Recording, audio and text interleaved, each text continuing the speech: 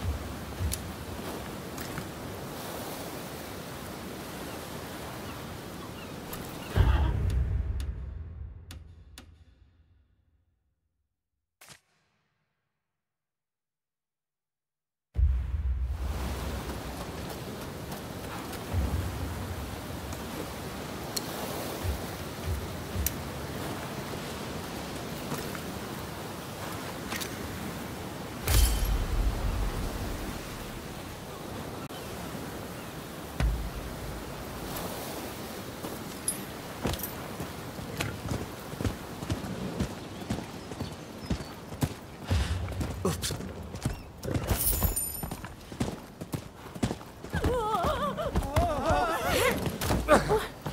Where are you going?